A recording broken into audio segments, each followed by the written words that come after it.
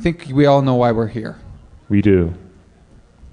It's for the that- execution of Adam Savage. No. you weren't expecting that one, were you? remember, remember the guns in the other room. no, no, it's true. Uh, so I'm gonna let him get started, and uh, a should. man that really needs no introduction. Round of applause.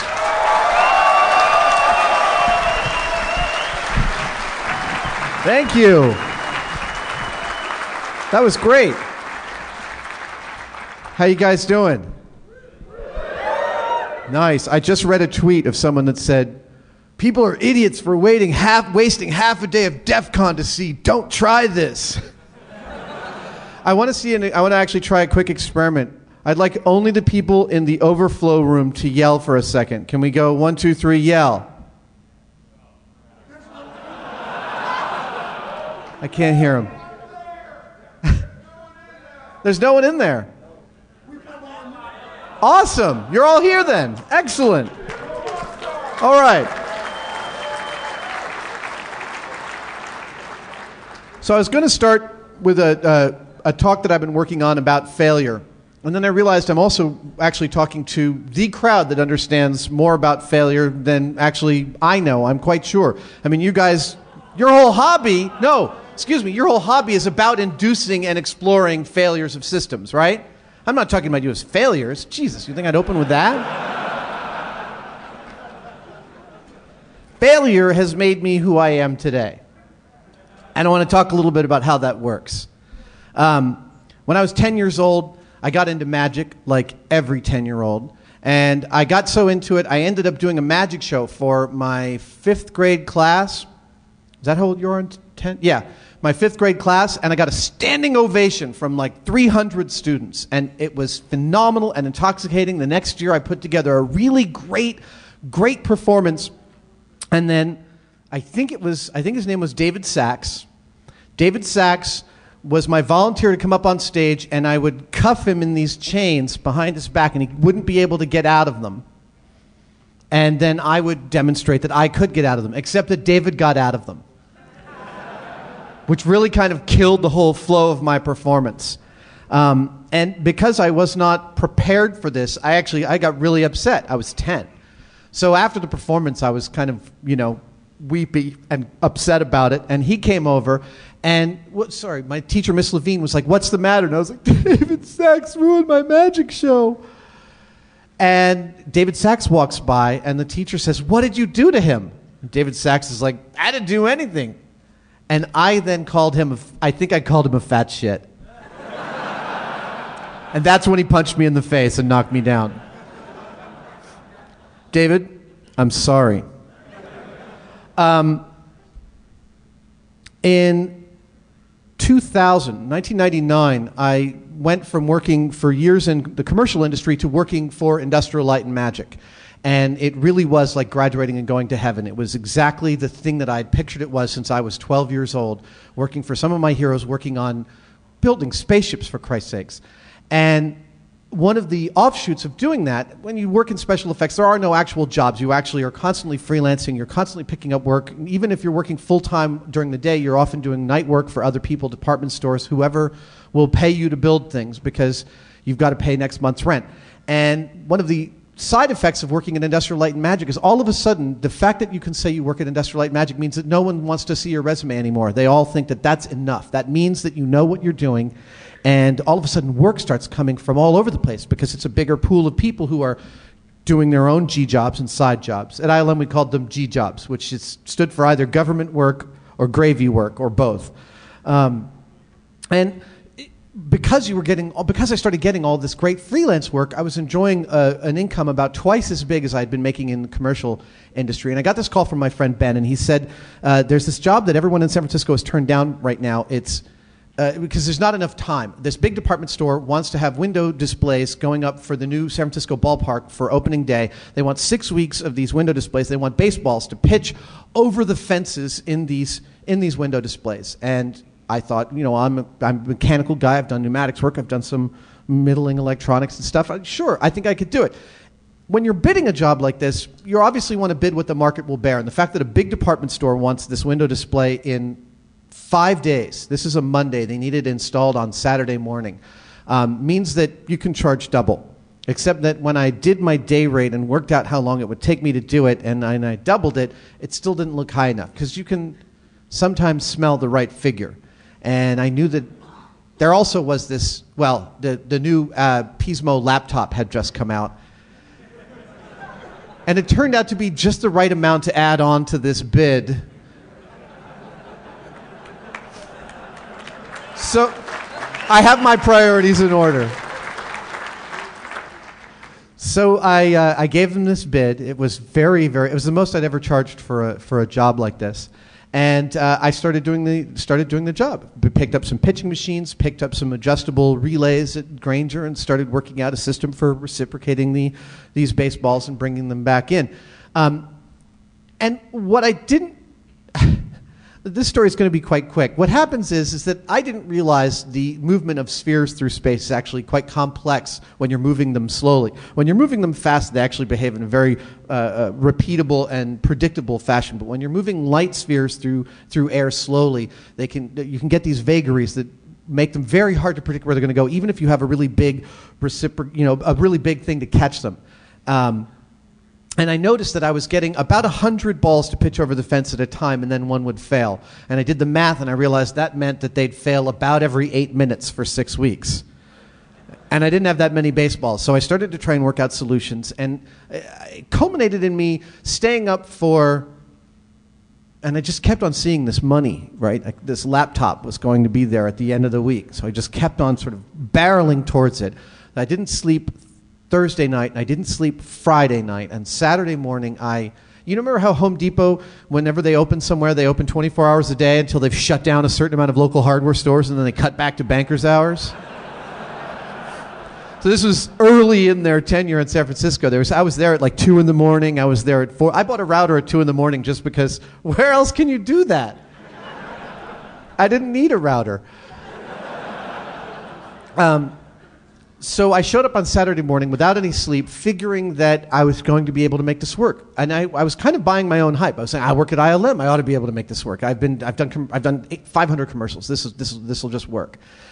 And after 13 hours of trying to install this thing, where I discovered that they had actually made the stage I was reciprocating the returning baseballs under smaller and the backboard also narrower, so that all of my tolerances became a little bit tighter.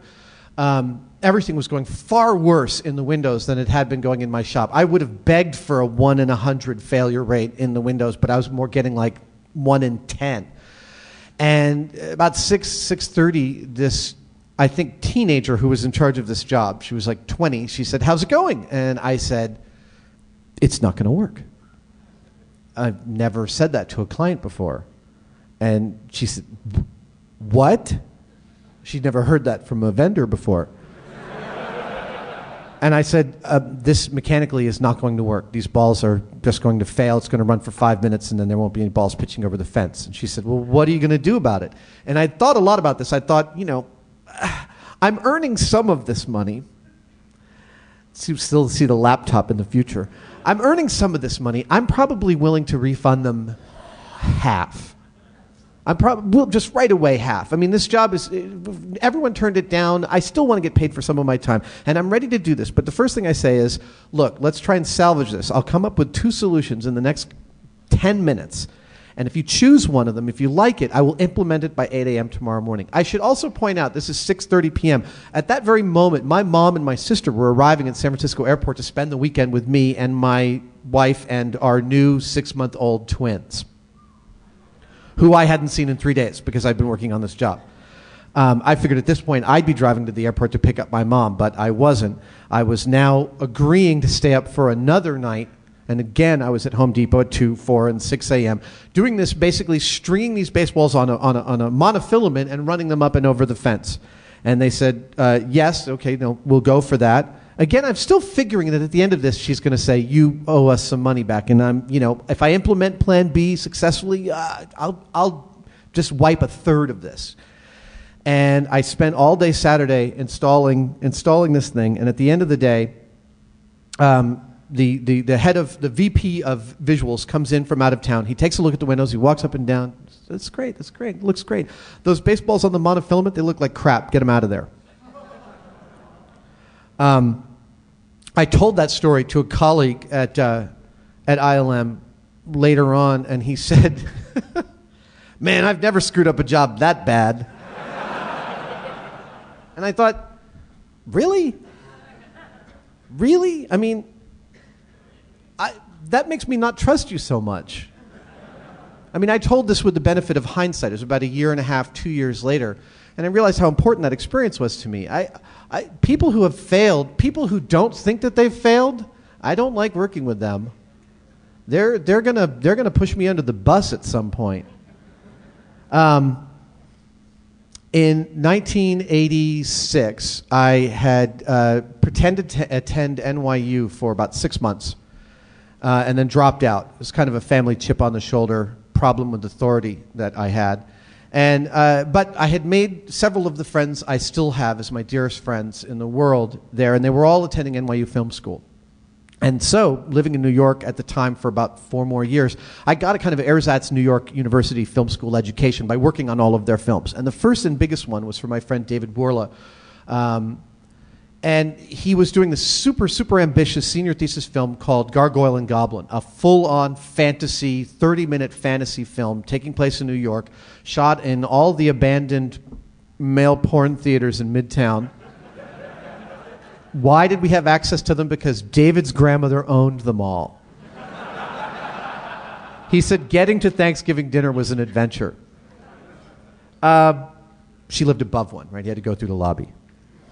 Anyway, we're working on Gargoyle and Goblin, and David and I, we had talked about it for months. I knew it was coming, and he asked me to art direct it, and I did. And actually, I art directed it with, uh, with a couple of people who've since gone on to become really, really amazing Hollywood art directors. And it was the first time I'd ever done anything on that kind of scale. And I, I, I it really worked out well. It was an incredibly consolidated crew 16 people shooting nights for two weeks, living in this block of abandoned buildings where we were filming, constantly blowing out the power of one building, tapping into the one next door to it until we blew out power to that one. Um, getting incredible footage in the can, pneumatic wings on these on this gargoyle, and all this stuff going on. And it ended up winning Best Art Direction at the NYU Film, Film Festival, NYU Film School Film Festival that year.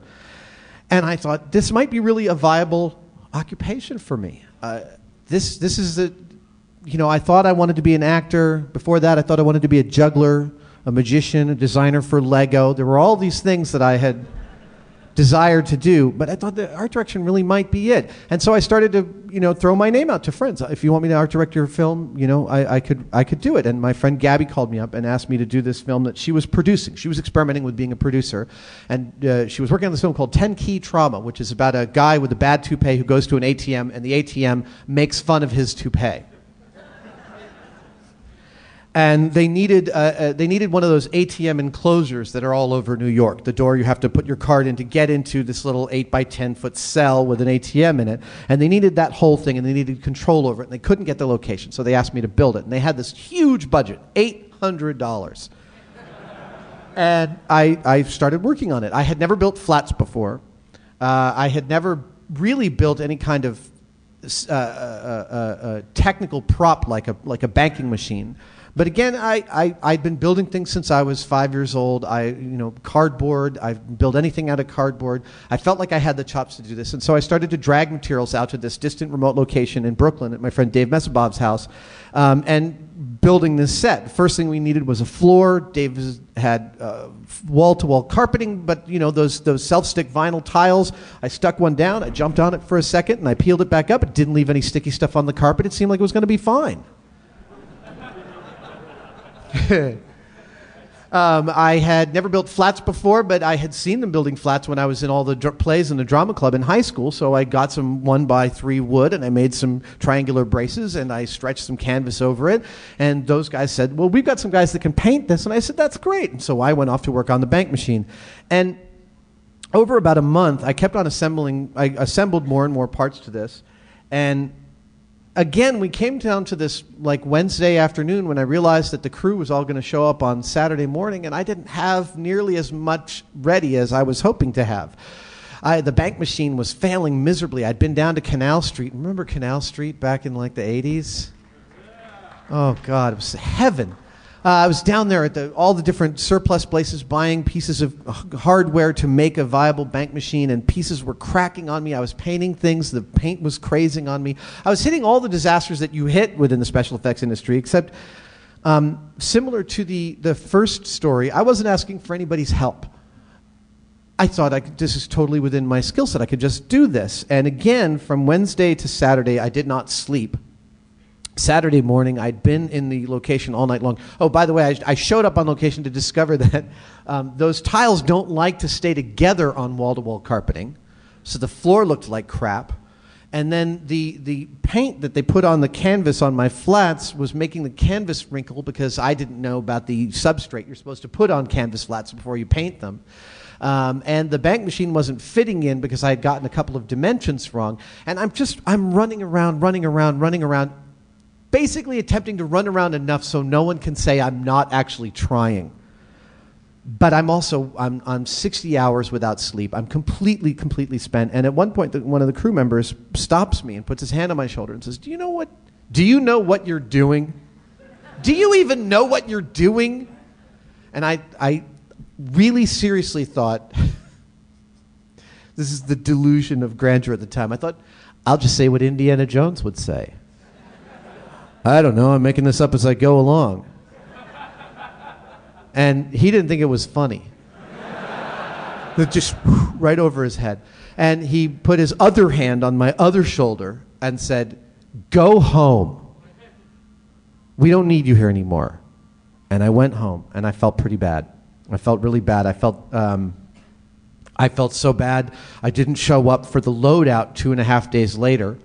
Um, I had heard that the crew pulled two all nighters trying to film around my crappy set. At the moment they were doing the loadout, I was all the way across town having sex. And they found out. It's the, one of the downsides of working in small clusters of friends. Um, at any rate, I went on that Monday to go pick up my toolkit. And uh, the toolkit was this kind of this point of obsession with me. During the process of making this of, of working on this film i had i'd found this leather like sample case uh, on the street in new york. You find everything on the street in new york. And i had filled it full of tools. It was the first toolkit that i made that was first order retrievability which is uh, meant I didn't have to move any tool out of the way to get to any other tool, and I was really quite proud of it. And I got there, and there was literally like a taped outline on the floor where my toolkit was, and a note saying, "We have your tools. Call Gabby." Gabby, no, this is a close knit circle of 18, 19 year old kids in New York. You know, there's a, there's a closeness you get with the people at that age that is never equaled by anybody else for the rest of your lives. And this, this, this, these were my friends. Gabby was one of them. And I called Gabby from the location, and she just started, she started in and said, what, what did you do to me? I trusted you. I trusted you to do this. And I told these guys, you could. the director of this film worked in a 7 Eleven for five months, living with his parents to save up the money for this film. And as far as we can see, you pissed it all away, and none of it showed up on camera. If, if you could have done, she said, if you could have done anything to convince me that you are not worth being friends with, you have done it. Now get over here with every goddamn receipt that you have because I want to see every penny that you spent. And I, uh, I, uh, I called my dad. I, I called my dad and I was like, I, I was weeping. I felt like, I felt like shit on your shoe. I felt worse than I've ever felt in my whole life. I've felt worse than that since then, I think. But at that point, that was the, that was the worst. And I, he said, "There's nothing you can do." He said, "You have to." I, he said, "There's nothing you can do. You can move on from here." One of the most phenomenal pieces of advice I've ever gotten. Um, and I went to Gabby's. I went to Gabby's dorm room, and I somehow actually, through some kind of bistromathics, accounted for every penny in the budget. And then when we were finished, it took about an hour, during which we didn't speak about anything but the budget. I mean, this was now an ex friend of mine I was doing this with. Um, she said, The crew is next door, and they want to talk to you. And now I'm starting to think they're going to kick the crap out of me. and actually, it, the way I feel, That would be that would be appropriate. Like I feel like that would be an appropriate response to the circumstances, and I would actually feel like it would be a release. Like I'd get to pay for my sins. I'm thinking it's like Animal House, right? I'm going to open the door and then someone's going to pop me across the kisser and then they're going to kick me for a while and throw me out. Um, so I open the door, and instead, what I see is a dark room with the entire crew, like 22 guys, all around the perimeter of the room, and there's a chair in the middle of the room and a spotlight on the chair. I'm not kidding. I'm not exaggerating at all. And the first thought through my head, things literally on the graph of like feeling like crap, it just blipped up a little bit, and I thought, at least now it makes a good story. I sat right down on the chair. One of them commented later, like, he sat down in the chair, like, immediately. I'm like, well, I know what my role is. I sat down on the chair, and the director sat and read out a list of about 100 things that I had said that I would do that I did not achieve in the course of screwing up his senior film, senior thesis film. And he didn't miss a trick. I mean, he had everything down.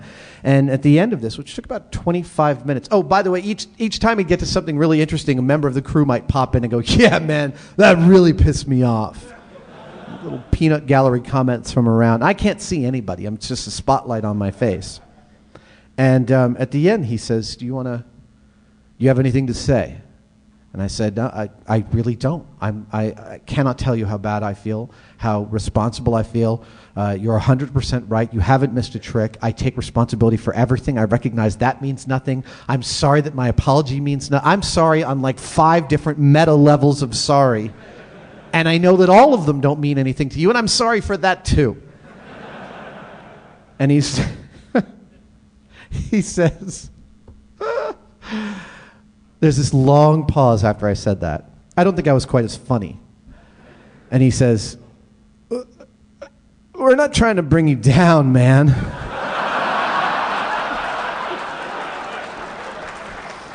It's I had a therapist point out years later, like I grew up with this. My dad was kind of crazy, and you know when my dad had a, when my dad would get pissed off, you did not want to get in his way, and I am a master at not getting in somebody who's pissed off's way.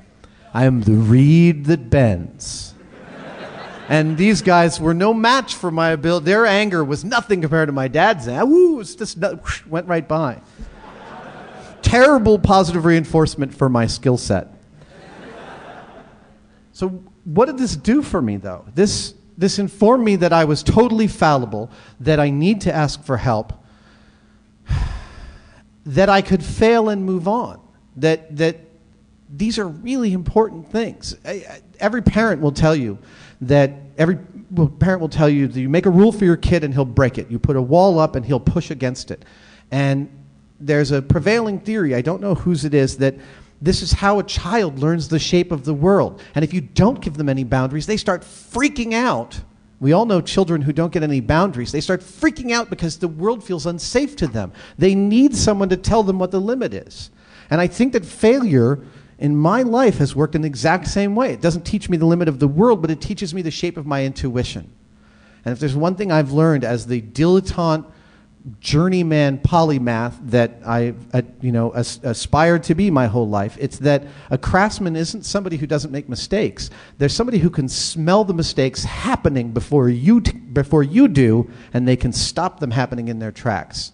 It's not about the cessation of failure. It's about recognizing that it's occurring, recognizing that it's going to be an inherent part of the process, and recognizing that you've got to dance with it. And if sometimes it's going to catch up with you. Sometimes you're going to screw things up so badly, and it's going to be fine in the end. I, I've worked at places where they're so failure averse. If a supervisor is messing up a job, other people will start to show up to help them finish the job. But no one talks to the supervisor and tells them that they're screwing up. He's just all of a sudden the crew's gotten a little bigger. And consequently, you end up with people who've you know worked in these companies for 20 years. They don't realize that they've been screwing things up all the time because no one's telling them. I don't trust people that haven't failed. There's a um,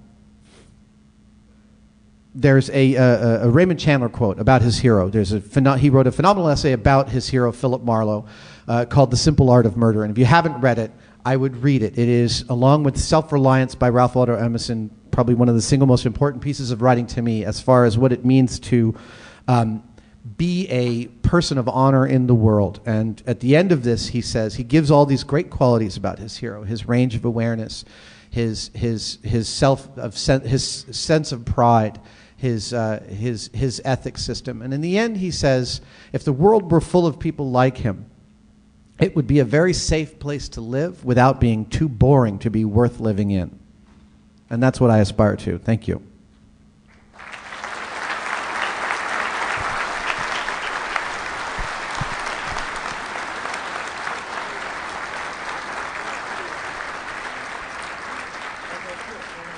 Now, uh, I'm opening the floor to questions for a good, what, 40 minutes or so? Yeah, awesome.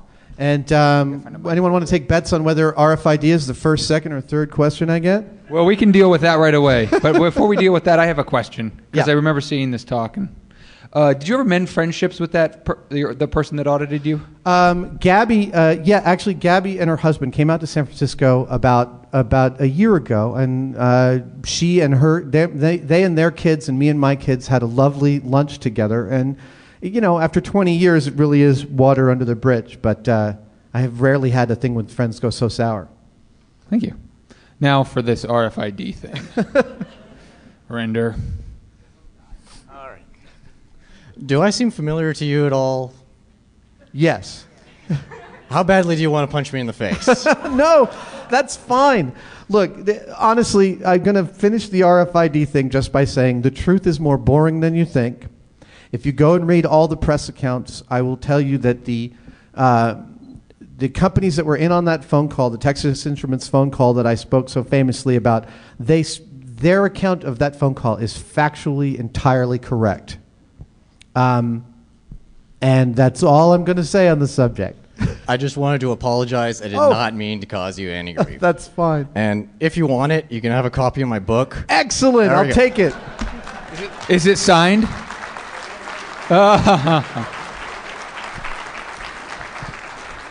Awesome. So let's do some Q and A. Who's first? Well, you got to stand up and come here. This this is not a magical stretchy mic. So I think what all of DEF CON wants to know is just how much taller is Jamie than you? He's tiny. Jamie's got like his feet are like this big. I think it's from his time as a geisha in the 18th century. and he's like he's like 5'4. He walks on apple boxes all the time. Can you tell us about a myth that will never make it to the air that you've researched? We we Yeah, no, I'm, I'm, I'm how far do I go? There's only been a couple. A lot of people ask about the spectacular things that Discovery One allows to do, and honestly, if you've seen my talks, I say this repeatedly. The truth is that the things they don't let us do are often the things they think are too boring. Um, coat hanger against high-end speaker cable, um, all that kind of stuff, right? They still won't let. They still don't think my my high fidelity episode is worth running. Um, but uh, we did explore. I'm just going to say we explored a myth involving lots and lots of liquid oxygen. Oh, And in my time on Mythbusters, working with all the different explosives, there's nothing that frightens me more than, than, than flammable gases, except that flammable gases are a cakewalk compared to liquid oxygen. It is terrifying, and when you start really going into the, into the material that we read and did a little bit of experimenting with, totally unpredictable. oh, yeah. Um, it's just it's terrifying stuff, and we've just abandoned that story because it wor- involves working with too much liquid oxygen under too uh, hard to reproduce cir- uh, circumstances from too far away, and so we're just not going to go there.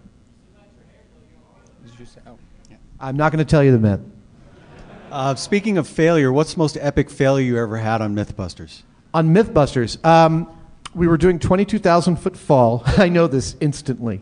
Um, I mean, there's been a lot. We had one recently where Jamie left the emergency brake on a car that had to drive.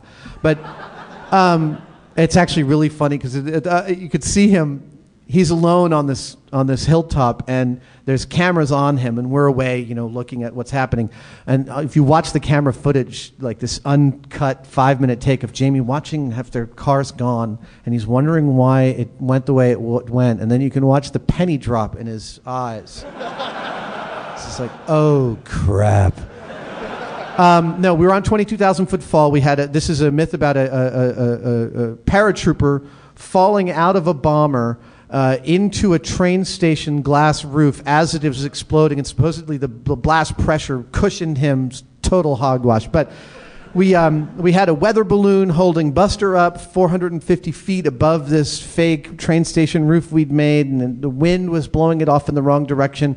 And well, we had to get the Buster up to the top of this with a quick release, and it involved. Was we're also shooting up an Angels camp uh, north of San Francisco on during the California heat wave of about four years ago, where it was 118 degrees in the shade. We actually had to stop working at 10 or 11 a.m. because the fire department was going to shut us down because the fire hazard was too high after that. So we're getting on set at 3 in the morning and working by car headlights until dawn when we're, you know, go to set up Buster on the balloon. We're going to rise him up. And whenever you're taking a system off a tie off and releasing it into something else, there's this transition moment. And I hadn't thought through the transition moment. I had, uh, I had this like extra length of about a foot of rope between where Buster was tied off. The weather balloons were about to take him up, and I had five people on guy wires ready to release him. And I cut this, I cut this tying, tying wire, and the force of him going up gave rope burns to all five people holding guy wires and everything went pear shaped. I mean, the whole, exp- uh, you know, Buster starts to float away. We're running after him. Worse than that, it's Friday. We're supposed to be finishing this. We're supposed this next. What happens next is that we're done working for a week in 118 degrees, and I know instantly that we'll be back at 3 a.m. the next morning to do it again. And yeah, it was awful. It was the worst, the worst screw up I've ever had. I consoled myself with the fact that they don't really on a big scale happened that often, and we, you know, we hit, we were able to accommodate it. Um, uh, uh, hello, uh, and my heart is uh, pounding here, so please excuse me. Um, but I, I, ju- I do want to say uh, first one very quick comment, which is that I do uh, actually suffer from social and anxiety a lot, and so actually hearing that the the failure talk is very helpful. my my my my question is actually about. Uh, the, the Apollo mission, uh, which is that was a wonderful episode. I was just wondering what you would have liked to have done additional that you weren't able to do, just because I've, I actually had to share the, the share that video. Uh, with some coworkers to actually prove to them, you know, we actually did go to the moon. but uh, uh, uh so, it, yeah, just any, anything. It would be great. I, I've I, I, really like your show. Well, we, we love that episode. That episode was what we sent out as, a, as an example of our best work last year to the Emmy nominating committee, and it's one of the reasons we got nominated for an Emmy for the first time this year. Um, thank you.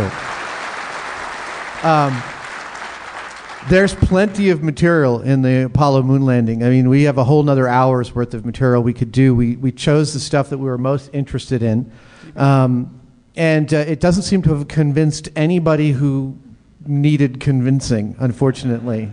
The need for a good conspiracy theory, I think, is too hard to shake. The need to, I, I think it's a deep seated need for just to find out that someone's in charge.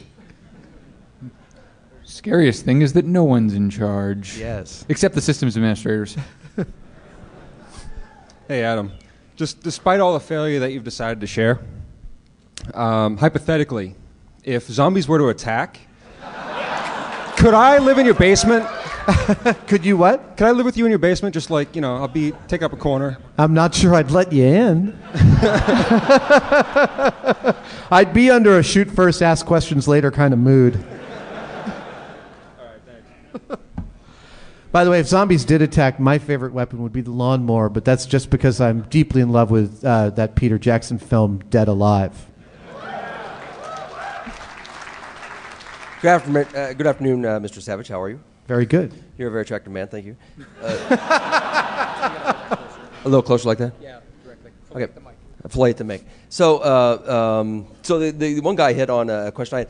Are you currently working on uh, working for the government um, on staging a manned mission to Mars type of thing? You know, framing that.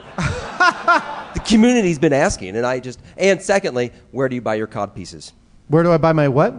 Cod pieces. Cod pieces. No, this is real, mate.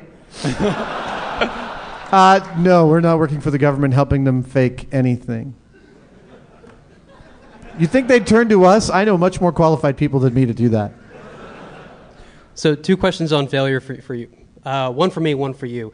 One, have you recast your uh, Falcon yet down to the appropriate size? Um, and uh, two, um, as a big fan of the show, I, I really want a replica of the Mythbusters sign. How does the Mythbusters team make it? Um, we, uh, it's a plasma cutter in about 30 minutes. Uh, honestly, we just we, we draw out the letters. Uh, I think the last one we had a producer leave the show and he took one with him, so I had to remake it about three years ago. Um, I made the no, I think Jamie made the original one. I made the second one. Uh, we just cut out the letters and then uh, weld them all the way around to another sign. I don't have a plasma cutter. Can I get you to make me one? It would be pretty expensive, I have to admit.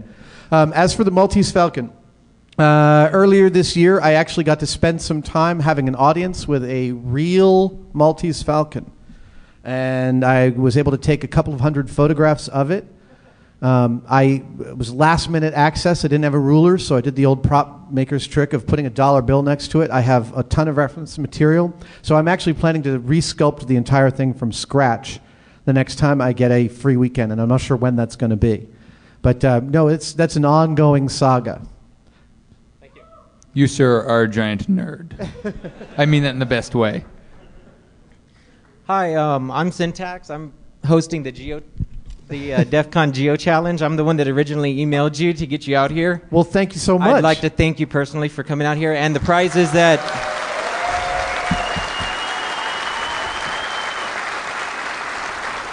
Did you like the, the prizes that I found for you? we got. The prizes are on di- one set of them is on display over at our booth in the contest area. That's great. and uh, there's been a lot of excitement. It was a first year event. It's really drawn a lot of attention to it.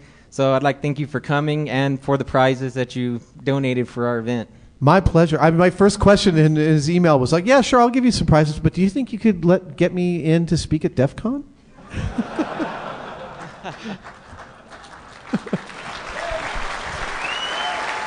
Thank you. Thank you.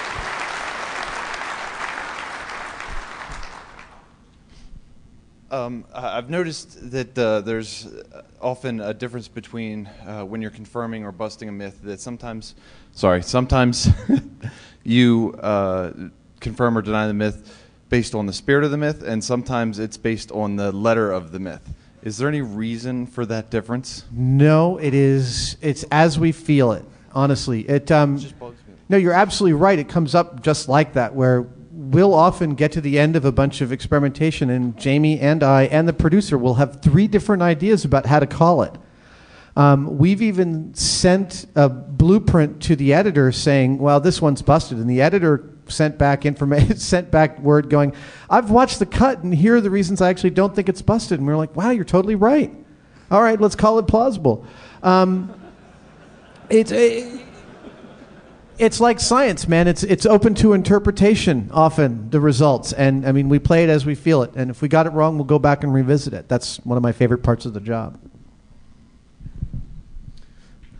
Well, obviously, the uh, rocket car was one of your very first myths.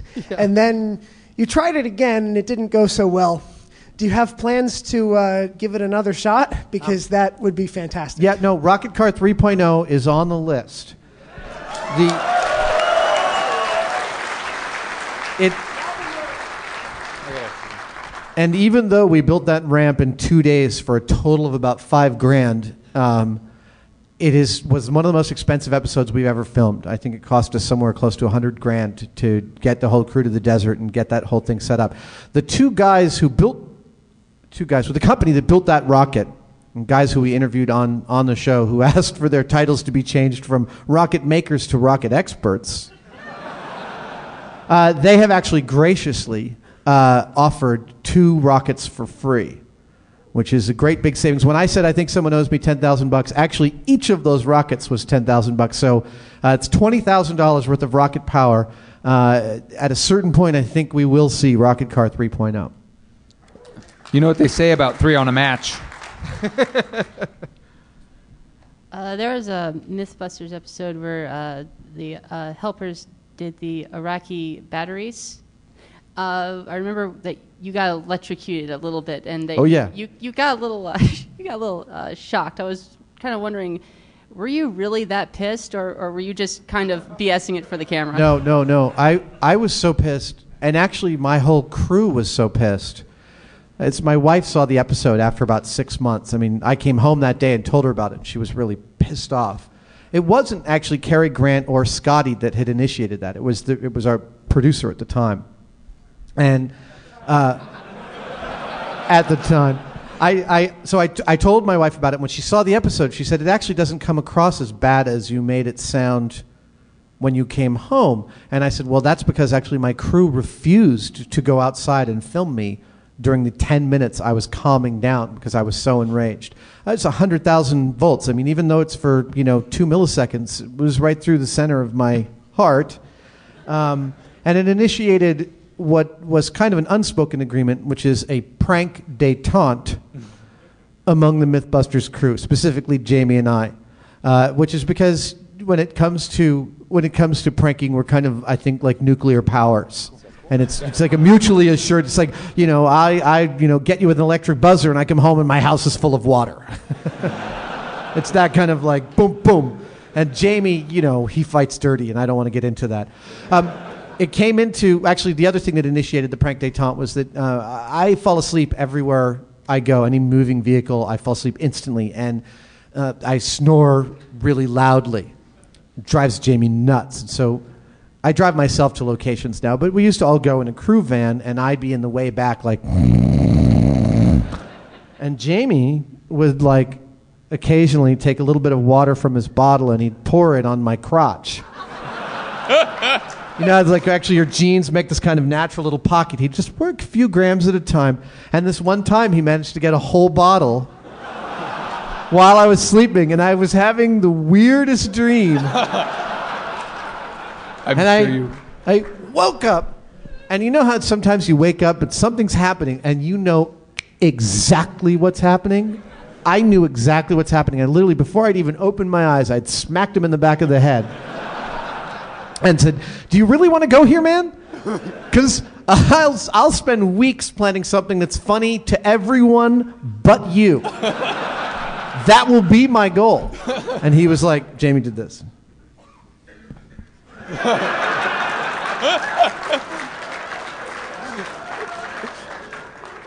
You're absolutely right. I'll never do it again.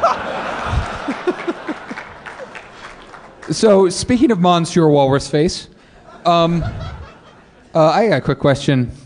You having a good time here? Very, very good. I love, I love talking to engineers. I love talking to the, the geeks. How many? I usually ask how many people have yelled at their television at me, but how many Yes. of you have actually called me an idiot to your television? Yeah, there you go. See, I can hear it. So, uh, what you doing next year around this time? Uh, I'll come right on back. What about the rest of the crew?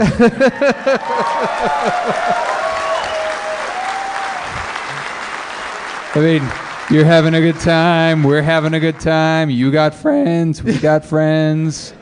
I'll see if I can bring some. I don't know if I can get Jamie to come out, but well, come on. We love Jamie. It's he's very antisocial. Oh, he's antisocial. He's not. He's not antisocial. All right, I'll bring Grant next year. I promise. He says.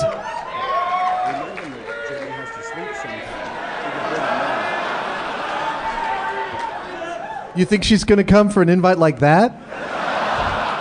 So, so um, one of our red shirts made a red shirts made a, um, a note that Jamie does have to sleep occasionally, and we have some very able bodies. But he sleeps in a locked cryonic chamber, so. Let me introduce you to Deviant.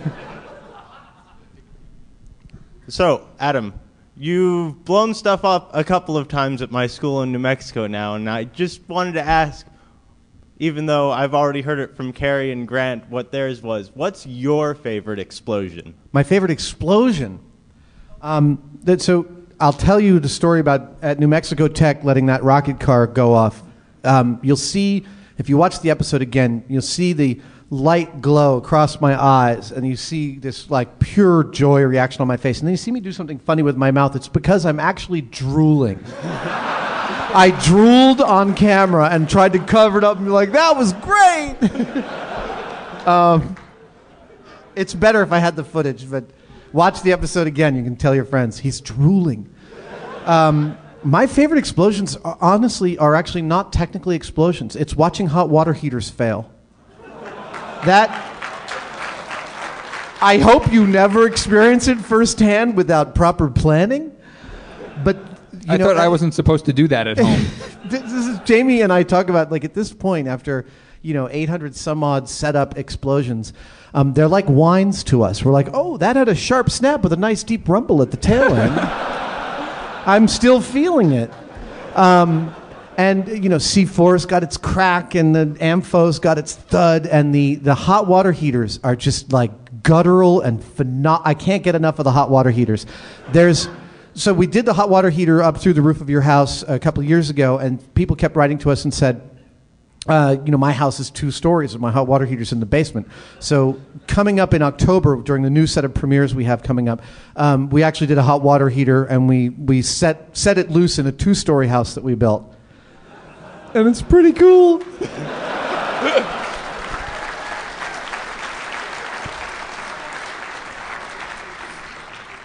Hey there. Uh, so normally in the TV show, you have a narrator, and the narrator tends to, you know, cast Jamie as kind of like the, you know, well-thinking, thoughtful guy, and you as kind of the goofball guy.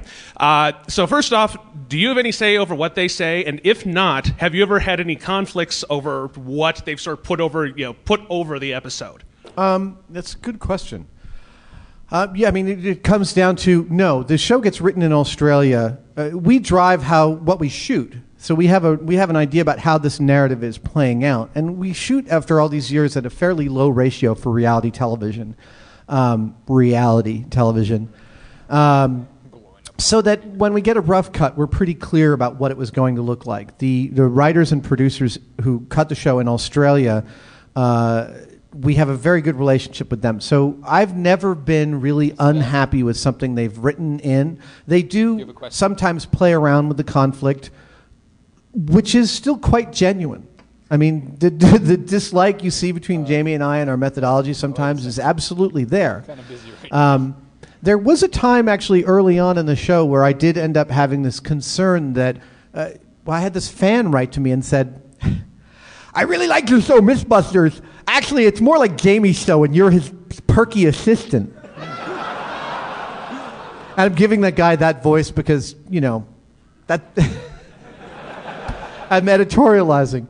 Um, and I, I actually was like, is this how people are perceiving this show? Because really, it is the fundament is our interest level and our ideas and what we're doing, and it is an absolute partnership in every sense of the word, and the most important professional partnership that I'll probably ever have. And it's with a guy who drives me nuts. It's with a guy who I have the deepest respect for, um, and uh, that makes a big difference because it allows you to realize that you know this product is bigger than the sum of its parts. You recognize that people love the show for what it is, and they you know what you see really is kind of what you get. Um, and uh, you know we do fudge around sometimes. There was a point in which Jamie caught a terrible flu. Uh, yeah, he caught a terrible flu when we were shooting the ninja ep- one part of the ninja episode, the walking on water, and so we ended up shooting that whole sequence around him not being there with insert shots for him to come in, so that when he came back in, we could make a maximum use of him, even down to it being his idea. Um, because within the context of the episode, we make sure that we trade off so that you know one of us is doing this, one of us is doing that. We really want you know there to be a balance between stuff, and so there are sometimes things that are that are my ideas on camera that were his idea in real life, and vice versa. Uh, it's a very spongy process. Thanks. You guys don't have to kneel. Thank you. Thanks for being here. Great talk. My question's in two parts, and they definitely are related.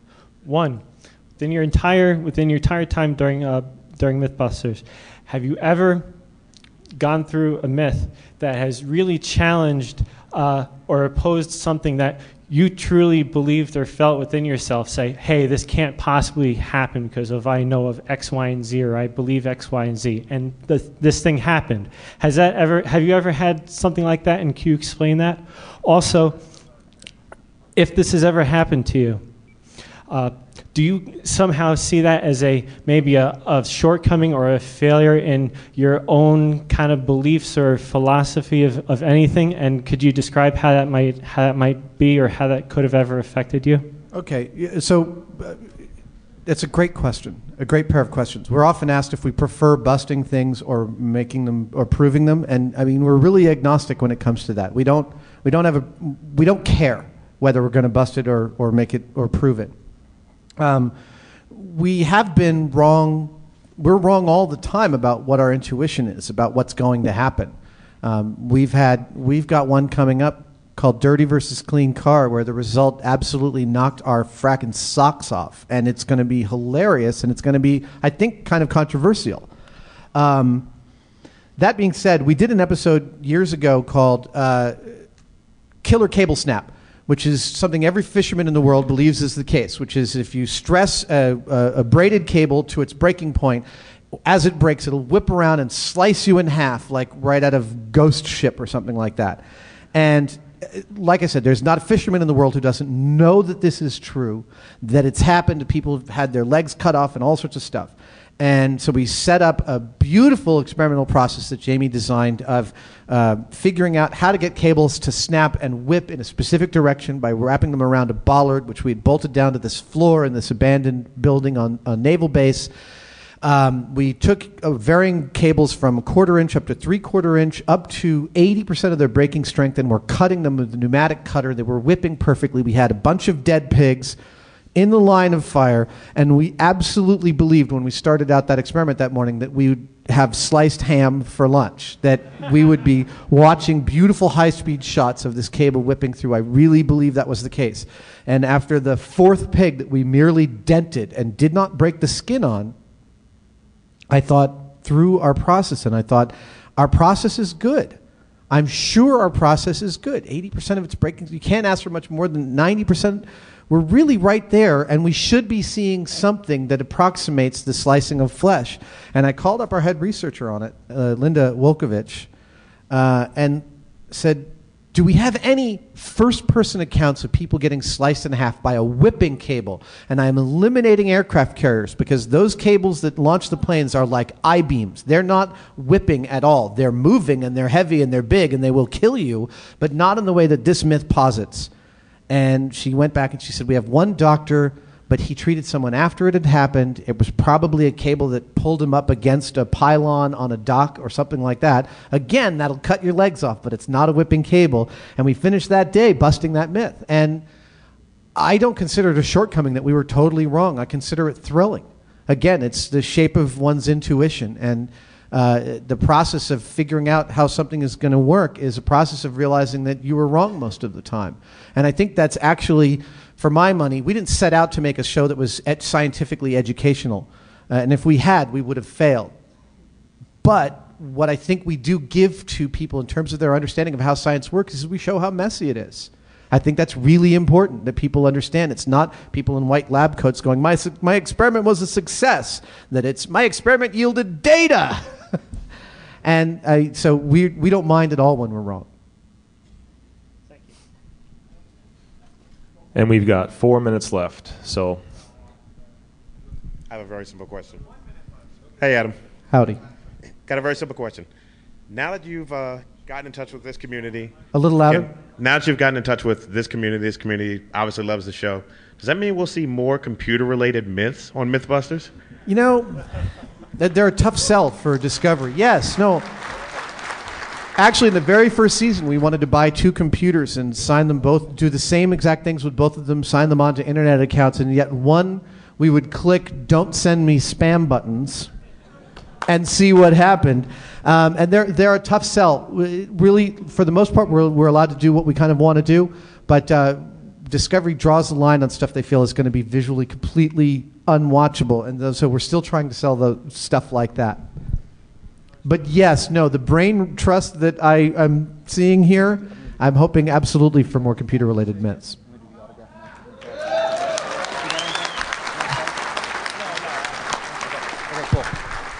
Okay, okay.